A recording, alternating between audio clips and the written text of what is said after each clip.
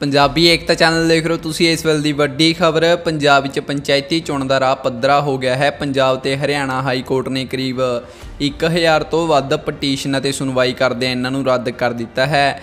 ਇਸ ਤੋਂ ਇਲਾਵਾ ਹਾਈ ਕੋਰਟ ਨੇ 206 ਪੰਚਾਇਤਾਂ ਦੀ ਚੋਣ ਪ੍ਰਕਿਰਿਆ ਤੇ ਲੱਗੀ ਰੋਕ ਵੀ ਹਟਾ ਦਿੱਤੀ ਹੈ, ਜਿਹੇ 'ਚ ਸਪਸ਼ਟ ਹੈ ਕਿ ਕੱਲ ਸਵੇਰੇ 8 ਵਜੇ VOTING ਹੋਵੇਗੀ। ਦੱਸ ਦਈਏ ਕਿ ਪੰਜਾਬ ਵਿੱਚ 15 ਅਕਤੂਬਰ ਯਾਨੀ ਕੱਲ ਨੂੰ ਪੰਚਾਇਤੀ ਚੋਣਾਂ ਹੋਣੀਆਂ ਹਨ। ਇਸ ਵਾਰ ਪਾਰਟੀ ਚੋਣ ਨਿਸ਼ਾਨ ਤੇ ਵੀ ਚੋਣਾਂ ਨਹੀਂ ਹੋ ਰਹੀਆਂ, ਪਰ ਇਸ ਦੇ ਬਾਵਜੂਦ ਵਿਰੋਧੀ ਪਾਰਟੀਆਂ ਦਾ ਦੋਸ਼ ਹੈ ਕਿ ਉਹਨਾਂ ਨਾਲ ਜੁੜੇ ਲੋਕਾਂ ਤੇ ਉਮੀਦਵਾਰਾਂ ਦੀਆਂ ਨਾਮਜ਼ਦਗੀਆਂ ਜ਼ਬਰਦਸਤੀ ਰੱਦ ਕੀਤੀਆਂ ਗਈਆਂ ਹਨ ਅਤੇ ਕਿਸੇ ਨੂੰ ਵੀ ਐਨਓਸੀ ਜਾਰੀ ਨਹੀਂ ਕੀਤਾ ਗਿਆ। ਇੱਥੇ ਦੱਸ ਦੇ ਕਿ ਇਸ ਤੋਂ ਪਹਿਲਾਂ ਪੰਜਾਬ ਤੇ ਹਰਿਆਣਾ ਹਾਈ ਕੋਰਟ ਨੇ ਪੰਜਾਬ ਸਰਕਾਰ ਦੇ ਰਿਜ਼ਰਵ ਵਾਰਡਬੰਦੀ ਦੇ ਫੈਸਲੇ ਤੇ ਮੋਹਰ ਲਾ ਦਿੱਤੀ ਸੀ। ਰਿਜ਼ਰਵ ਵਾਰਡਬੰਦੀ ਦੇ ਸਾਰੇ ਮਾਮਲਿਆਂ ਦਾ ਅਦਾਲਤ ਨੇ ਨਿਪਟਾਰਾ ਕਰ ਦਿੱਤਾ ਸੀ।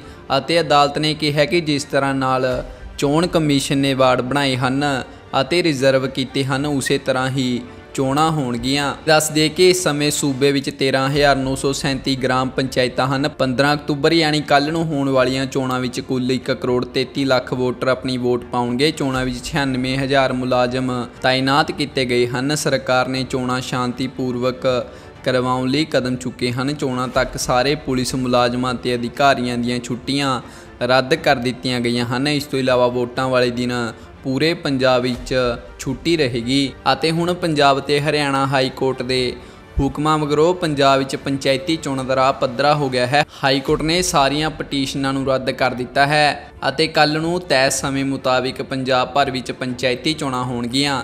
ਸੋ ਇਸ ਨੂੰ ਤੱਕ ਦੀ ਵੱਡੀ ਖਬਰ, ਹੋਰ ਖਬਰਾਂ ਦੇਖਣ ਲਈ ਸਾਡੇ ਚੈਨਲ ਨਾਲ ਬਣੇ ਰਹੋ। ਧੰਨਵਾਦ।